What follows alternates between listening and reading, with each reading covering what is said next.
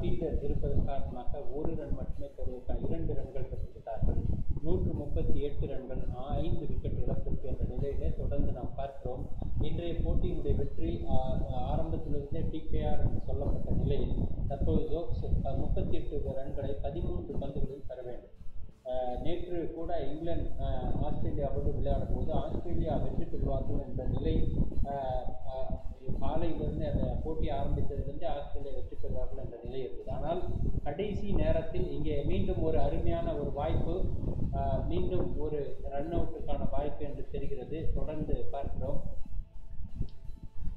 Batsman well இந்த grease என்று சொல்லலாம். ஆனால் கூட எது சிறப்பு என்பதை நாம் பார்க்க வேண்டும்.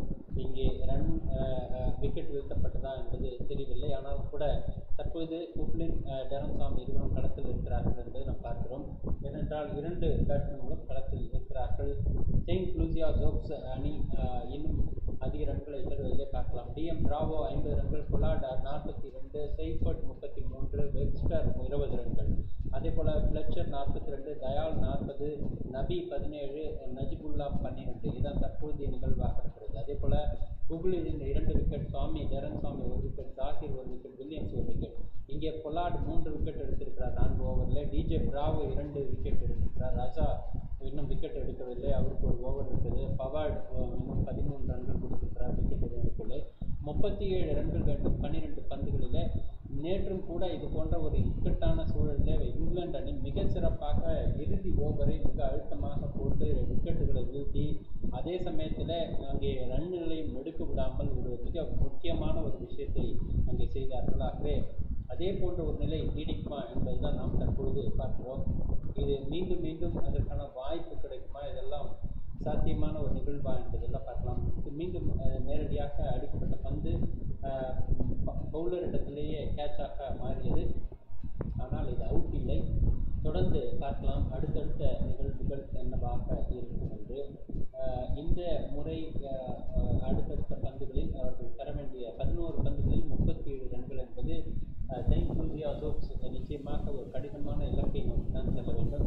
கூகுளின் தற்போது பந்து எதிர்கொள்ள இருக்கிறார். டிஜே பிராவனுடைய பந்து வீச்சு இந்த முறை அடுத்து ஆடி இருக்கிறார். ஆனால் நேரடியாக எக்ஸ்ட்ரா கவர் ரீஜனில் ஒரே ஒரு ரன் மட்டுமே பெறுவதற்கான வாய்ப்பு. இன்னும் கூட டெரன் சாமி களத்தில் இருக்கிறார். ஆனாலும் கூட ரன்களை பெற முடியுமா? இருபத்தி ஒன்று புள்ளி ஆறு பூஜ்ஜியம் என்பது ரன்கள் தேவை என்ற நிலை ஒரு ஓவருக்கு. ஆனால் அதற்கெல்லாம் சாத்தியம் இல்லை. முப்பத்தி ஆறு ரன்கள் தர வேண்டும். பத்து பந்துகளிலே அதற்கான வாய்ப்பு இருக்குமா என்றால் டேரன்சாமி தற்போது வாய்ப்பு குறைவு என்பதை உணர்வார் என்றாலும் கூட முயற்சி செய்வார்கள் என்பதில் மாற்றுக்கருத்து இல்லை. தொடர்ந்து பார்க்கலாம். இன்றைய போட்டியிலே அதாவது ஆறு ரன்களை தொடர்ந்து அடித்தாலும் கூட அதற்கான வாய்ப்பு இருக்கும். ஆனால் தொடர்ந்து ஆறு ரன்களை அடிப்பது என்பதே சாத்தியமில்லை என்பதுதான் முக்கியமான ஒரு நிகழ்வு டிஜே பிராவோ தன்னுடைய அடுத்த பந்து அழகாக அடித்து அடிக்கிற இந்த முறை நான்கு ரன்கள் வருவதற்கான வாய்ப்பு இல்லை.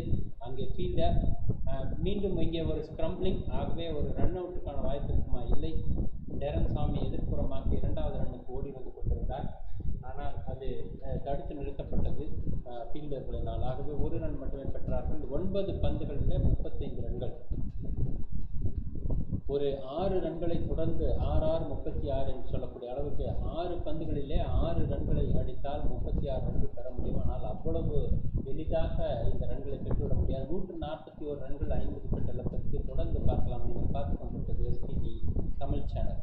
இன்றைய போட்டியினுடைய நிகழ்வாக அடுத்தடுத்து நீங்கள் பார்க்கலாம். மிகச் சிறப்பாக விளையாடி கொண்டிருக்கிறார்கள் அடுத்த பந்து அழகாக அடித்து ஆடினார். ஆனால் பந்து நகரவே இல்லை. அரவுண்ட் த விக்கெட் என்று சொல்வார்கள். அங்கேயே விழுந்து விட்டது. அதை கடந்து செல்லவே இல்லை என்பதை நாம் பார்க்கிறோம். ஆகவே பந்து வீச்சு மிக கடினமாக இருக்கிறது என்பதிலே மாற்று கருத்து இல்லை. டிஜே பிராவோ மிகச்சிறப்பாக பந்து வீசிக்கொண்டிருக்கிறார் என்பதும் மாற்று கருத்து இல்லை. இன்னும் சரியாக எட்டு பந்துகள் எட்டு பந்துகளிலே முப்பத்தி ஐந்து ரன்கள் பெற வேண்டும். ஆனால் இன்றைய போட்டி அவ்வளவு விறுவிறுப்பான ஒரு போட்டியாக நடக்கவில்லை.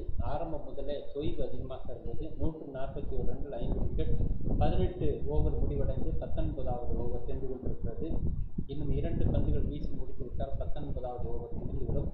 இருந்தாலும் டிஜே பிராவோ டூ கோகுலே இந்த முறை அடித்திருக்கிறார். ஆனால் தேர்ட் தேர்ட் மேன் ரீஜனில் அங்கே ஃபீல்டர் தடுத்து எடுத்து ஆடுகிறார் ஆகவே ஒரு ரன் மட்டுமே பெறுவதற்கான வாய்ப்பு. Saint Lucia also need thirty four runs off seven balls இது தற்போதைய நிகழ்வாக நாம் பார்த்து கொண்டிருக்கிறோம்.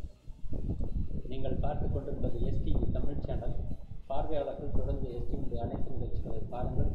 தொடர்ந்து அனைத்து போட்டிகளின் நேரலையும் பாருங்கள். எஸ்டிவி ஸ்போர்ட்ஸ் கிரிக்கெட் சார்ந்த அனைத்து நிகழ்வுகளுக்கும் எஸ்டிவி ஸ்போர்ட்ஸ் சேனலை பார்க்க வேண்டும் என அன்போடு கேட்டுக்கொள்கிறோம். சிபிஎல் தவிர்த்து அடுத்ததாக ஐபிஎல் தவிர்த்து மற்ற போட்டிகள் அனைத்தும் கிரிக்கெட் சார்ந்த அனைத்து போட்டிகளும் எஸ்டிபி ஸ்போர்ட்ஸ்லேயே நேரடியிலே நீங்கள் பார்க்கலாம். அடுத்த போட்டி அடுத்த பந்து.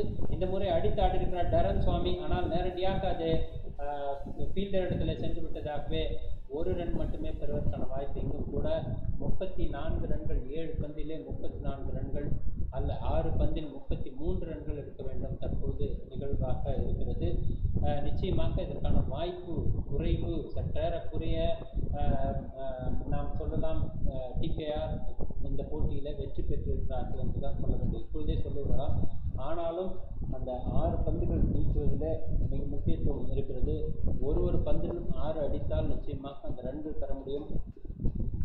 அப்படி பந்து வீசக்கூடிய ஒரு நபர் இங்கு வருவாரா என்றால் அதே போல அப்படி அடித்தாடக்கூடிய தன்மை தரன் சுவாமியை தவிர வேறு குகுலினுக்கும் இருக்கலாம். ஆனால் தொடர்ந்து பந்துகளை ஆறு இலக்கை நோக்கி அடிப்பது என்பது நிச்சயமான சாத்தியம் இல்லை என்பதை நாம் உணர வேண்டும். இதே நேரத்தில் இன்றைய போட்டியில் யார் வெற்றி பெறுவார்கள் எத்தனை ரன்கள் பெற முடியும் என்பதெல்லாம் தொடர்ந்து நாம் பார்க்கலாம் நீங்கள் பார்த்து கொண்டிருப்பது தமிழ் சேனல் பார்வையாளர்கள் தொடர்ந்து எஸ்டிவி அனைத்து நிகழ்ச்சிகளை பாருங்கள் எஸ்டிவி மட்டுமல்லாமல் எஸ்டிவி ஸ்போர்ட்ஸ் நிகழ்ச்சிகளை தொடர்ந்து பார்க்க வேண்டும் அன்போடு கேட்கிறேன் ஆறு பந்துகள் முப்பத்தி மூணு ரன்கள் தேவை. செயின்ட் செயின்ட் லூசியா ஜோக்ஸ் தற்போது அவருடைய ட்ரெஸ் கோடிலே சிறிய மாற்றம் இருப்பதை நாம் உணர்கிறோம். டெரன் சுவாமி அணிந்திருக்கக்கூடிய அந்த ஜெர்சியில் மாற்றம் இருக்கிற ஜெர்சி அல்ல ஜெர்சி போன்ற ஒரு தோற்றம் நாம் பார்க்கிறோம். அது வேறு ஒரு ஜெர்சியாக இருப்பது இந்த அணி இந்த வண்ணத்திலே அவர்கள் இதற்கு முன் விளையாடவில்லை. ஆனால் இப்பொழுது வேறு ஒரு மாற்றம் இருக்கிறது இருந்தாலும் செயின்ட் லூசியா ஜோக்ஸ் தற்போது முப்பத்தி மூன்று ரன்கள் தேவை. ஆறு பந்துகள் மட்டுமே மீதம் இருக்கிறது. ஒரு ஓவர் சரியாக ஆறு பந்துகள் மட்டுமே மீதம் இருக்கக்கூடிய நிலையில் வெற்றி என்பது யாருக்கு வரும் என்பதில் பார்த்து நாம் சொல்லிவிட முடியும். நிச்சயமாக இன்றைய போட்டியில் நிச்சயமாக டிகேஆர் வெற்றி பெறுவார்கள். இருந்தாலும் இந்த ஆறு ரன்களை ஆறு பந்துகளையும் கடந்தான் முதல் பந்து முதல் பந்து ஆறு ரன்கள் முதல் பந்து ஆறு ரன்கள் டரன் சுவாமி. முதல் பந்து நாம் ஏற்கனவே சொல்லிக் கொண்டிருந்தோம் ஆறு பந்துகளை ஆறு ரன்களுக்கு அடித்தால் மட்டுமே வருவதற்கான வாய்ப்பு இருக்கிறது என்று. முதல் பந்து hero maximum six towards mid wicket region அருமையான ஒரு ஆறு என்று சொல்ல வேண்டும். சிறப்பான ஒரு பந்து வீச்சு ஆனால் அது பந்து வீச்சு அல்ல சீல்ஸினுடைய பந்து வீச்சு அவர் சிறப்பாக பந்து வீசினார் பந்து வீசினாரா என்பதை விட சிறப்பாக அடித்தாடினார் டெரன் சுவாமி என்று சொல்லலாம். அடுத்த பந்து மீண்டும் ஆறா இந்த முறை நேரடியாக விக்கெட் கீப்பருக்கு சென்று விட்டது. வைடு அறிவிக்கப்பட்டிருக்கிறது ஆகவே மீண்டும் ஒரு ஒரு பந்து அதிகமாக கொடுக்க வாய்ப்பு இருக்கிறது. ஐந்து ரன்கள் ஐந்து பந்துகளில் ரன்களை அடிக்க வேண்டும். ஆனால் இங்கே அழகாக டெரன் சுவாமி அந்த பந்தை விட்டு விட்டு நகர்ந்து விட்டார். இல்லையென்றால் அது மோசமான ஒரு சூழலை கொடுத்திருக்கும். இருந்தாலும் ஒய்டு அறிவிக்கப்பட்டிருக்கிறது. ஐந்து பந்துகளில் இருபத்தி ஆறு ரன்கள் பெற வேண்டும். ஐந்து பந்துகளில் இருபத்தி ஆறு ரன்கள். ஆனால் இன்னும் இரண்டு பந்துகளை அழுத்தமாக வீசினால் கூட அது வாய்ப்பு மீண்டும் ஒரு மிகச் சிறப்பான ஒரு ஆட்டம் தூக்கி அடிக்கப்பட்டிருக்கிறது. ஆனால் இந்த முறை கேட்ச் பிடிக்கப்பட்டிருக்கிறது. ஆகவே விக்கெட் வீழ்த்தப்பட்டிருக்கிறது என்பதை நாம் பார்க்கிறோம்.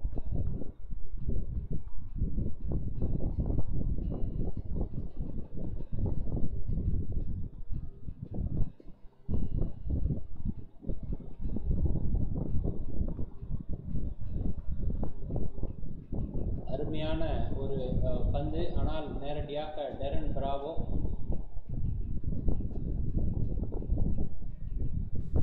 Darren Bravo ah, Darren Sammy out ஆகியிருக்கிறார் மீண்டும் ஒரு விக்கெட் இறுதி ஓவரில் ஆறடிக்க முயற்சித்தால் நான்கு எல்லையில் ஃபீல்டர் பிடிப்பதற்கான வாய்ப்பு அதிகமாக இருப்பது எல்லாரும் அறிந்த ஒரு நிகழ்வு தான் ஆனால் அதைத்தான் இப்பொழுது உறுதி செய்யப்பட்டிருக்கிறது. ஆனால் அங்கே மிகச்சிறப்பாக கிரண் பொலாட் அந்த பந்தை அழகாக கேட்ச் பிடித்தார். ஆனால் அதற்கு இடையிலே இன்னொரு ஃபீல்டர் ஓடி வந்ததன் காரணமாக சற்று ஒரு சற்றேறக்கூடிய அந்த அந்த பந்தை விடுவதற்கான வாய்ப்பு கூட இருந்தது. ஆனால் அது ஏதோ சுதாரித்து அது சரியாக பிடித்துவிட்டார் ஆகவே ரன்கள் பெறுவதற்கான வாய்ப்பின் குறைவு என்பதை நாம் பார்க்கிறோம். நான்கு பந்துகள். இருபத்தி ஆறு ரன்கள் நான்கு பந்துகளிலும் ஆறு ரன்கள் அடித்தாலும் கூட இங்கு இவர்கள் வெற்றி பெற முடியாது என்பதை நாம் பார்க்கிறோம். ராஸ்டன் சேஸ் வந்திருக்கிறார் தற்போது. ஆறாவது விக்கெட் இருக்கு. அதற்கு டெரன் பதிலாக ராஸ்டன் சேஸ் முன்கூட்டி வந்திருக்கலாமோ என்று தெரியவில்லை. ஆனால் இந்த முறை அவர் அடித்தாடிய பந்து ஸ்ட்ரைட் சிக்ஸாக அடிக்கப்பட்டது. ஆனால் அது நேரடியாக ஃபீல்டரிடம் கிரண் பலாட் ஓடி வந்து தான் அந்த கேட்சை பிடிக்க வேண்டிய ஒரு சூழல் ஏற்பட்டது.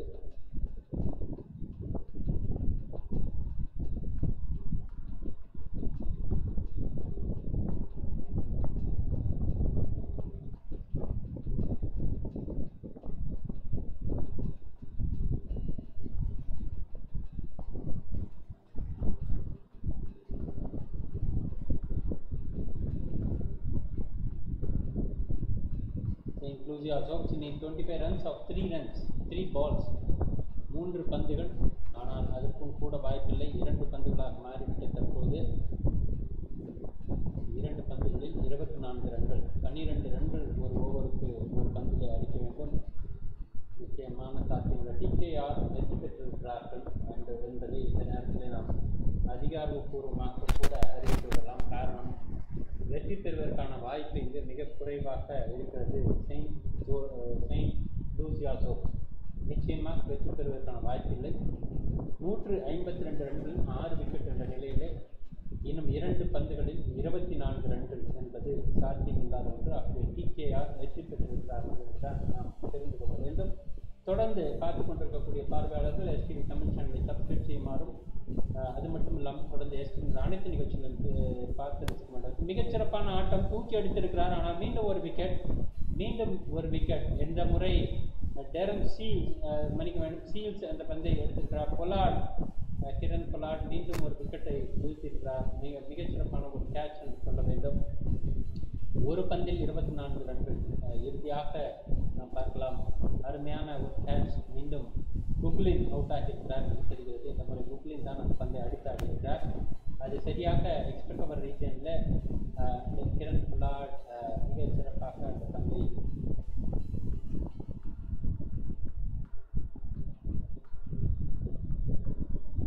அது பொலாட் அல்ல வேறொருவர் அந்த கேட்சை பிடித்திருக்கிறார். ஆனால் இன்னொரு விக்கெட் வீழ்த்தப்பட்டிருக்கிறது என்பது மிக மிக முக்கியமான ஒரு சூழல்.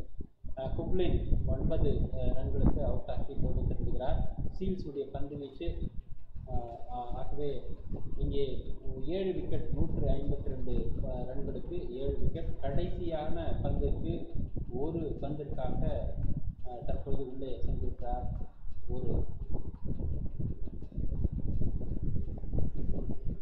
கார்த்திகேயன் என்று கேட்கப்படுகிறது ஆனால் கொடுக்கப்பட்டதா என்று தெரியவில்லை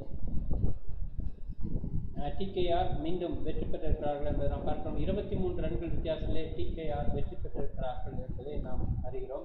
ஆகவே தொடர்ந்து பார்க்கலாம். TKR one by twenty three runs use who வாட்சிங் channel our channel are here requested to subscribe our channel TKR won by 23